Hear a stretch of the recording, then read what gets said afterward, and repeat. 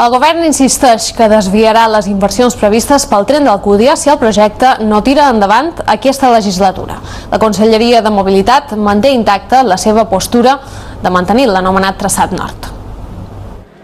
Les inversions ferroviàries del govern estatal s'hauran de dur a una altra banda si l'Ajuntament d'Alcúdia no està d'acord amb el traçat que proposa la Conselleria. El responsable de mobilitat, Gabriel Vicenç, ha volgut deixar clar que el govern no farà un tren en contra dels informes tècnics. S'està mai havia invertit en matèria ferroviària. Per tant, per exemple, necessitaríem electrificar totes les vies. Eh? Per tant, això són coses que anirem, anirem plantejant i anirem estudiant. He de saber que realment l'Ajuntament del Codí no està interessat en que realment li arribi el tren. Eh? Per tant, no, no avancem a contejaments. Vicenç també ha parlat del projecte de suprimir els passos a nivell a Santa Maria. Reconeix que estan estudiant la proposta de fer circular el tren per trinxeres, però demana prudència.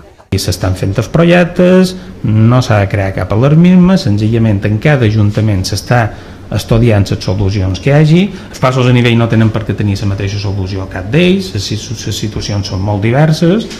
Pel que fa al conflicte laboral de serveis ferroviaris, la Conselleria comença a pensar que hi podria haver interessos polítics al darrere.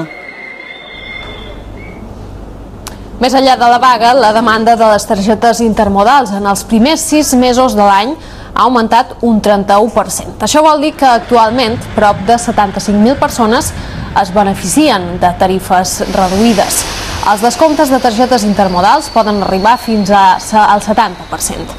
Els joves i la tercera edat continuen sent els que més l'utilitzen.